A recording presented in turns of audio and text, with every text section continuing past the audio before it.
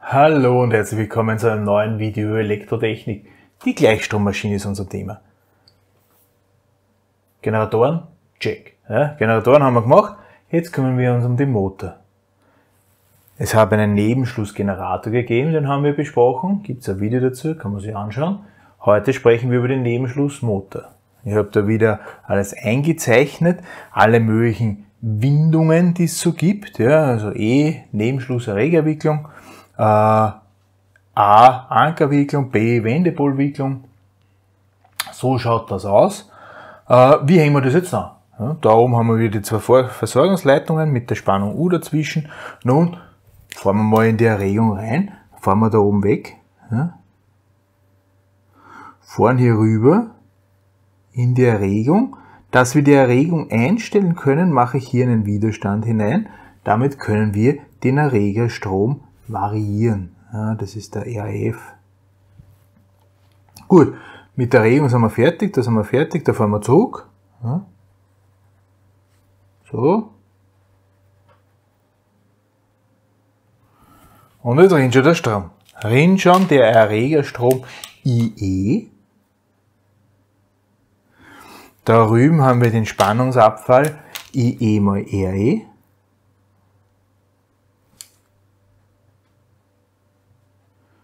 Eigeninduktivität der Spule brauchen wir nicht berücksichtigen, denn wir haben ja keine sich ändernden Magnetfelder da drinnen. Passt. Und sich ändernden Ströme. Passt. Da immer zurück. Da draußen ist praktisch die Spannung U. Zwischen hier und hier haben wir die Spannung U liegen. Das ist so, wo wir angesteckt sind. Und mit diesem RF kann jetzt in RE praktisch auf und da dran und kann die Erregung entsprechend variieren. Wie hängen wir die anderen zwei Sachen an?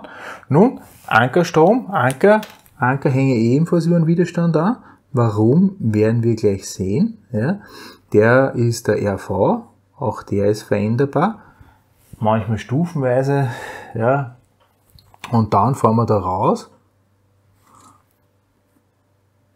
Fahren da unten in die Wendepole rein und kommen da zurück. Fertig. Ja, haben wir schon schön verschalten. Das heißt mal das Mikro. Haben wir schon schön, schön verschalten. IA, der Ankerstrom, da draußen rennt I, da unten treffen sie wieder, da rennt I zurück, passt. Ja. So schaut das aus. So schaut also der Nebenschlussmotor aus. Ich kann also im Prinzip die die Erregung und den Ankerstrom mit dem RV, das kann ich alles ändern. Das kann ich alles ändern. Erinnern wir uns an diese Gleichung hier. Die haben wir beim allgemeinen Betriebsverhalten, gibt es auch ein eigenes Video mal hergeleitet. Wenn ich genau diese Gleichung hernehme, genau die gleichen Überlegungen, die wir hier gemacht haben. Ja? Da UI haben wir gehabt, UI zeichnet jetzt da noch ein.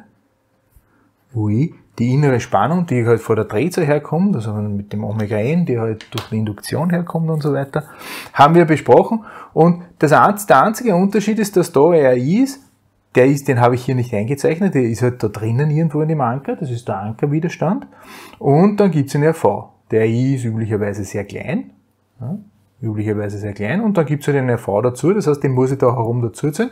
Aber im Endeffekt ergibt sich die gleiche Formel, das heißt, meine Drehzahl N ist gleich. Da, das UA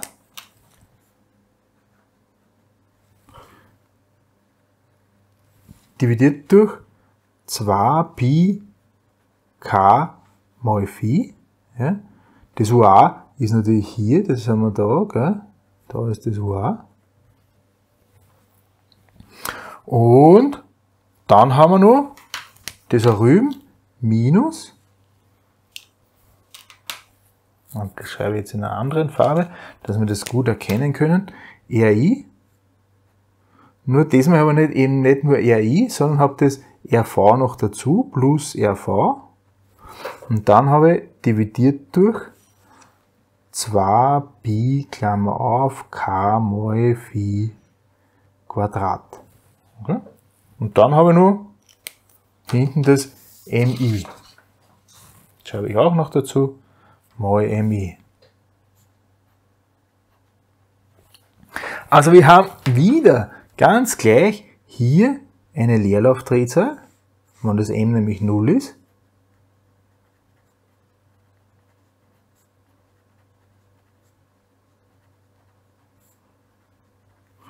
Und wir haben hier rüben haben wir eine Steigung. Und die Steigung kann ich diesmal mal aussuchen, weil ich sie ja vorher aussuchen kann. Negative Steigung, Minus haben wir drin. Erinnern wir uns bitte, wie das ausgesehen hat. Das muss ich da auch irgendwo liegen. Da, da. Ja. So hat es ja ausgesehen und genauso schaut es jetzt auch hier aus. Ja. Das heißt, da habe ich ja irgendwo mein N, da habe ich irgendwo mein, mein M,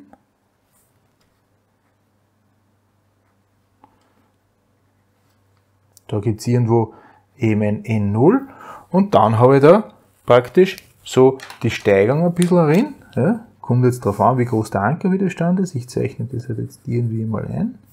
So, und dann gibt es irgendwo da ein maximales, ein maximales Moment. Ja.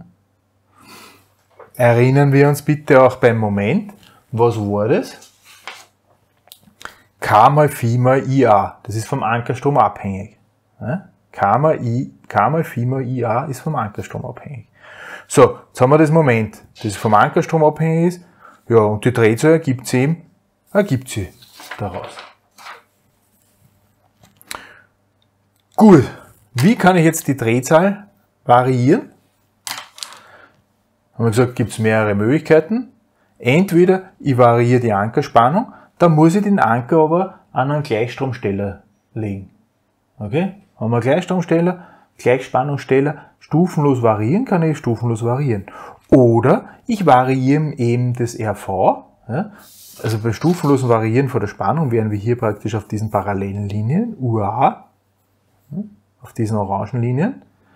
Oder ich mache das RV. Ja, dann haben wir hier immer eine größere Steigung. Ja, und was ich nun machen kann, habe ich gesagt, mit dem RF kann ich das Phi mir einstellen. Ja, und mit Phi können wir hier nach oben gehen. Wenn wir Phi kleiner machen, schaut das so aus. Das ist also eine vollkommen variable Maschine. Ja, und das wird eben dazu angewandt für ein drehzahlvariable Antriebe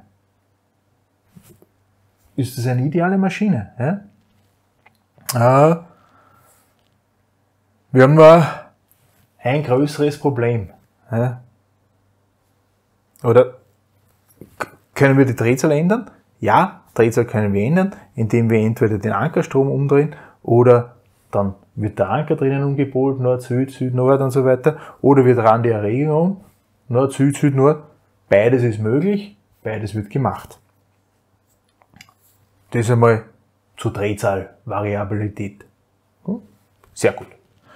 So, was haben wir jetzt beim Einschalten? Jetzt knallen wir das da drauf.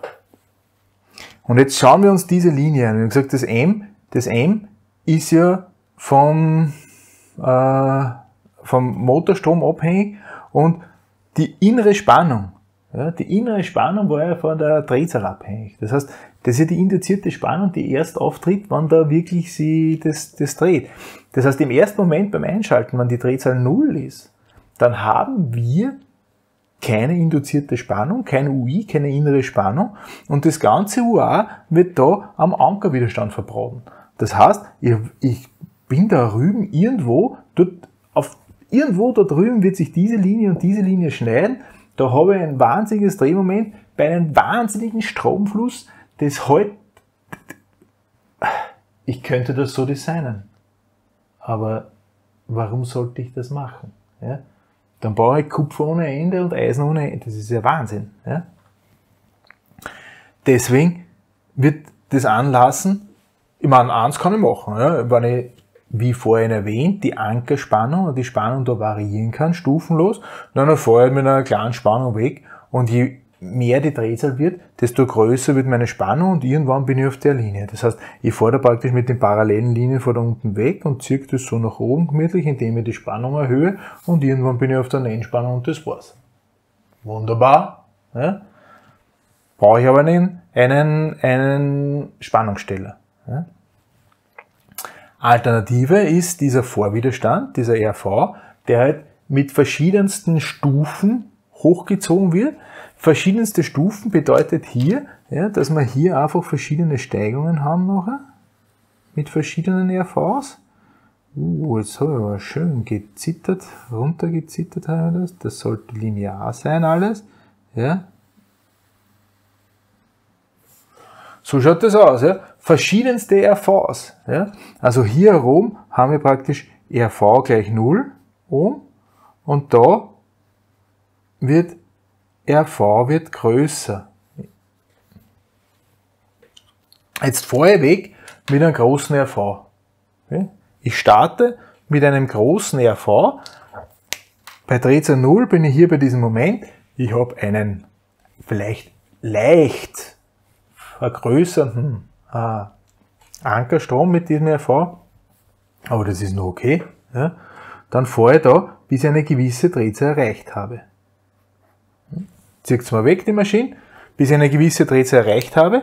Wenn ich diese Drehzahl erreicht habe, bin ich halt hier irgendwo,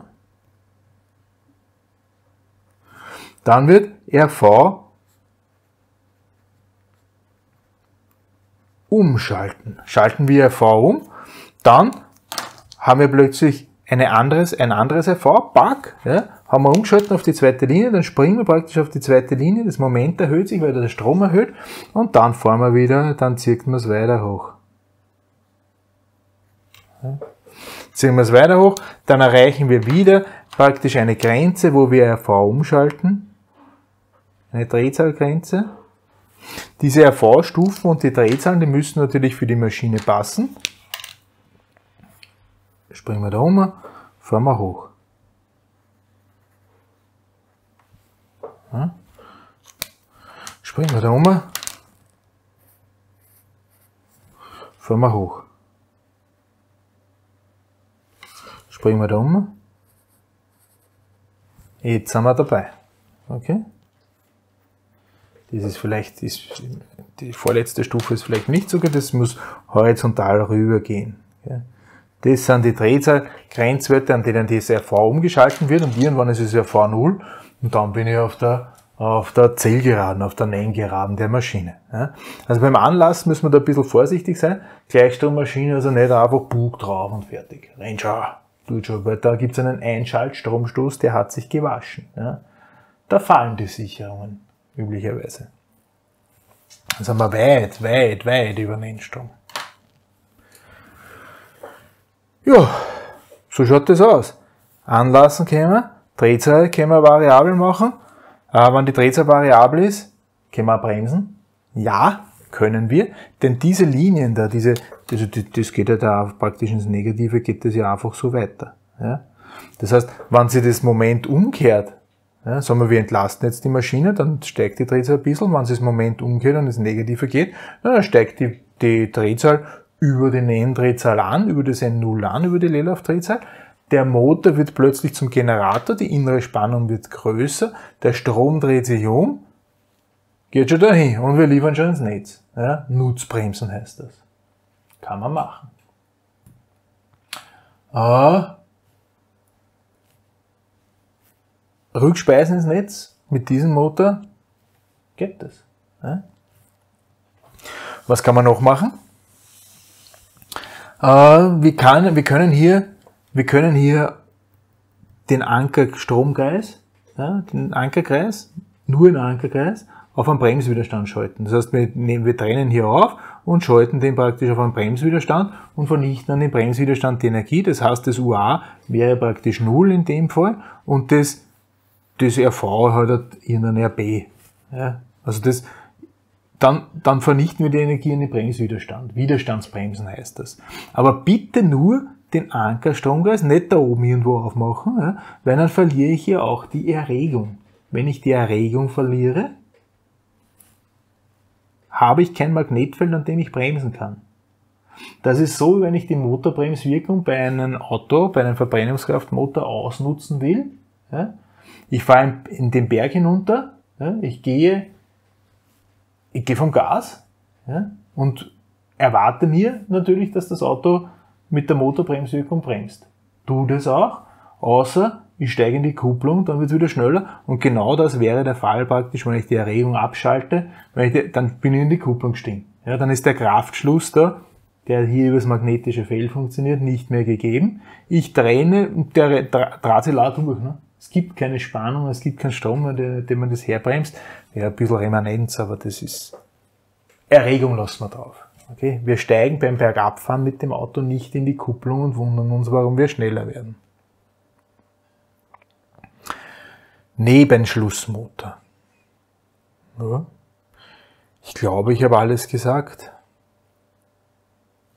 So funktioniert der. Wie gesagt, Drehzahlvariable Antriebe, beim Anfahren müssen wir ein bisschen aufpassen. Bremsen können wir, super. Ja. Super Antriebsmotor. Das nächste Mal sprechen wir über den Reihenschlussmotor. Wie das funktioniert, sehen wir im nächsten Video. Für dieses Mal herzlichen Dank für die Aufmerksamkeit. Auf Wiedersehen.